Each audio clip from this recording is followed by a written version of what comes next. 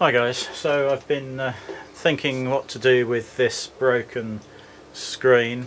Uh, it's playing up you know, sort of less and less each day, um, but it's still a bit uh, troublesome. So I think we're going to risk uh, fitting the new uh, glass to this. Um, looking, excuse me, looking online and YouTube, there's a number of methods from you know just heating this up to about 90 degrees and uh, you know using a sharp blade and gently easing the the glass up but if you mess that up you're going to crack the actual uh, display.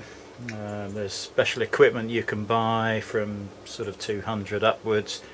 Uh, one of them uh, another method is to use some uh, special wire to um, gradually pull down pretty much like cheese wire you know where you would slice cheese by and this will just come underneath the glass and separate the glue.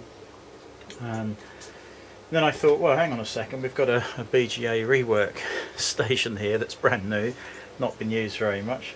Uh, I wonder if I can use the uh, preheater to get the phone up to 90 obviously once all the battery in the back and everything's uh, dismantled I've got to change this uh, center uh, bezel anyway so it's all going to be in pieces um, so I thought we'll fire this up uh, and then I realised that of course the preheater doesn't really want to work unless you're running a profile.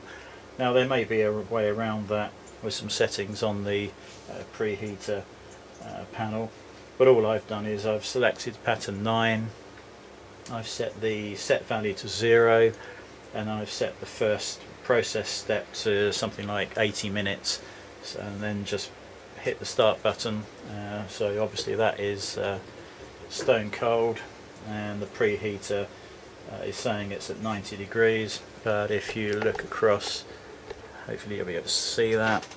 Yeah if uh, if you look at the three uh, K-type thermocouples that I've just put in three different places so that's number one that's 70 number two 72 and uh, strangely number three is uh, 55 and that's the one at the back there. I've just used some Kapton tape just to hold them roughly in place.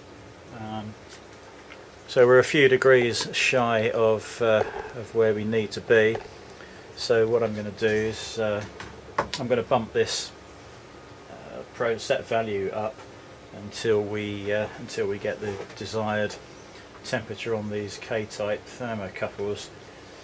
So, yeah, looking at these, I'm going to bump it up another 20 degrees. So we're going to run this up to uh,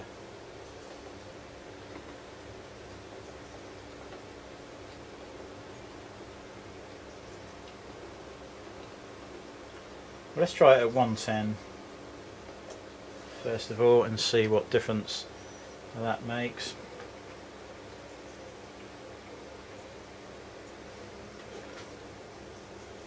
You can see the process value going up.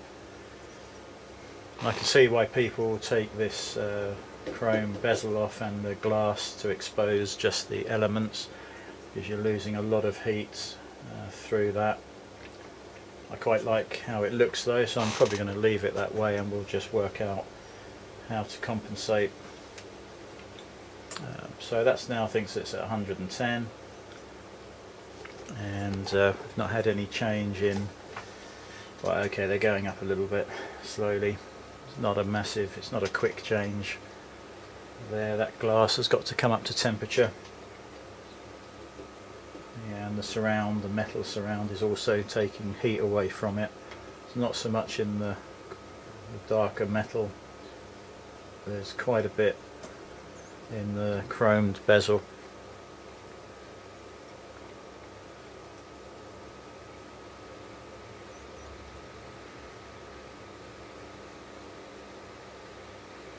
Just wondering if there's uh, somehow we can make up a little jig.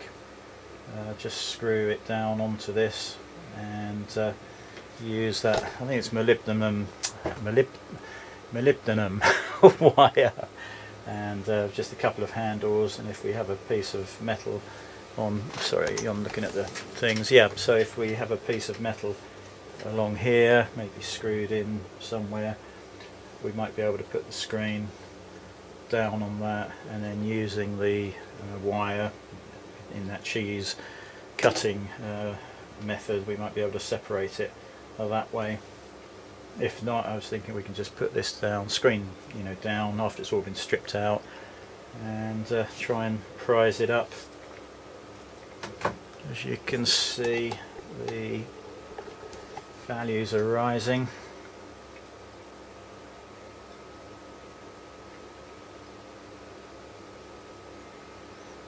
So that 110 is probably not going to be far off by the time this is stabilised. Don't really know why that one over the back is so uh, so different. I'm just going to hold that down a bit more. Nah, not really making much difference.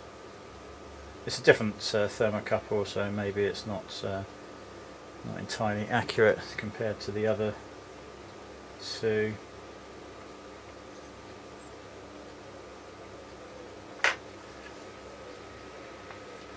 So it looks like we would be using the front of, the of this uh, preheater. That's the higher temperature.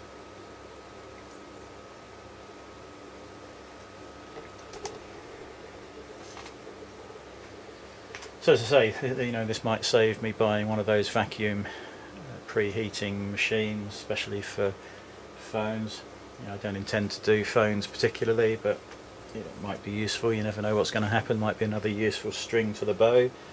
But as this is uh, at the moment just a one-off, um, might be worth just seeing if we can rig something up for this. I should imagine the trickiest part is, uh, well obviously not damaging the digitizer and the screen and, uh, and then probably aligning the glass. There's uh, two sensors bottom left and right and they seem to be uh, on a sticky foil and they have to be prized off of the old glass and then positioned onto the new glass and then the glass lowered down. There also seems to be different ways of sticking these back on.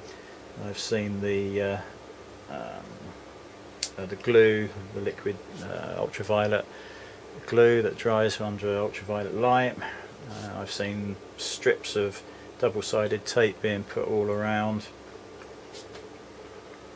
and I think there is a uh, pre-cut out uh, sticky pad that you can just put over that's already cut out to the right uh, you know size and shape for your phone. Right so what have we got? So 109 process value there and we've got yeah, 86 89 so it's looking about right it's probably going to overshoot a fraction now so I think we might just uh, change that down.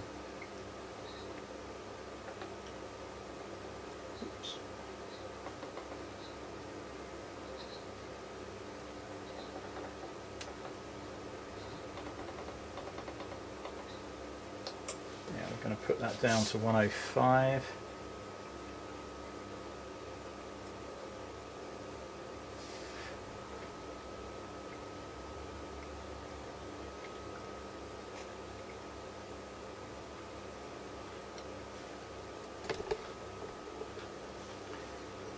got to watch the temperature on the on the display because that can uh, cause faults to develop. As I've seen on YouTube makes sense. You don't want to be heating anything up too high. Okay so at uh, a set value of 105 we're hovering around the 88 and 92 sort of range which I think is going to be acceptable.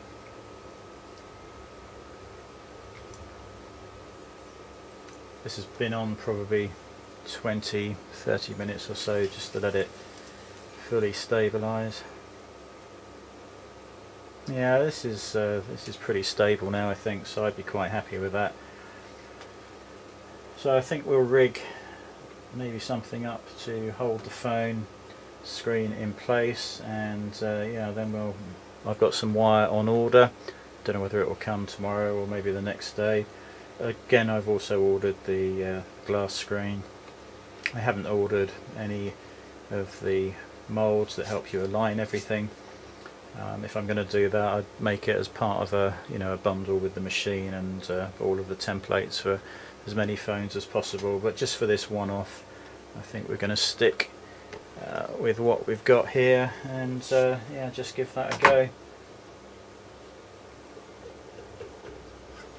So yeah, just uh, thought that would be uh, interesting to show you. Um, wonder if any other guys doing BGA rework have considered using uh, the preheater as a, a mobile phone uh, screen heater.